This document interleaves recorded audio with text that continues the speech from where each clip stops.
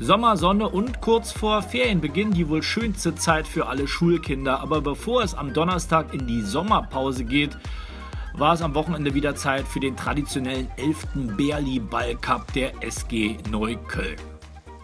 In den dritten Klassen im Schwimmunterricht stellen wir äh, Wasserballtrainer äh, den Lehrern zur Seite, die dann Wasserball in dem Schwimmunterricht machen. Und die Schulen, die mitmachen, treffen sich dann vor den Sommerferien hier im Sportbad Britz und machen dieses Schülerturnier.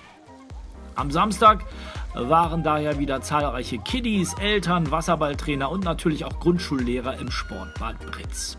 Ich habe die Gruppe jetzt ein Jahr lang begleitet zum Sportunterricht, also zum Schwimmen. Und es ist einfach total schön, als runden Abschluss äh, mit denen das Wasserballturnier hier spielen zu können. Und dann komme ich auch am Samstagmorgen hierher.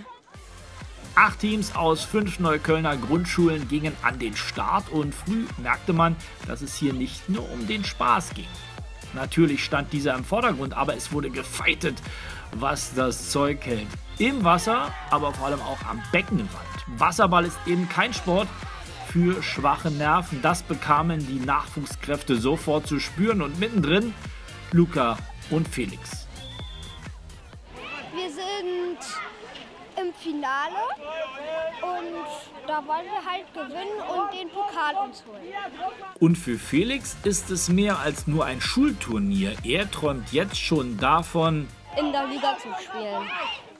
Die deutsche Wasserballliga ist natürlich noch ein gutes Stück entfernt, aber der erste Schritt wurde gemacht, denn gemeinsam mit seinen Mannschaftskollegen von der Oskar Heinroth Grundschule holt er sich den Titel und den riesigen Wanderpokal. Motivierte Talente gibt es in Berlin also genug. Talent ist aber nicht alles. Es muss auch gefördert werden und genau dafür braucht es den Berli Ball Cup. Neben einem reinen Grundschulprojekt ein Sprungbrett zur Wasserballkarriere.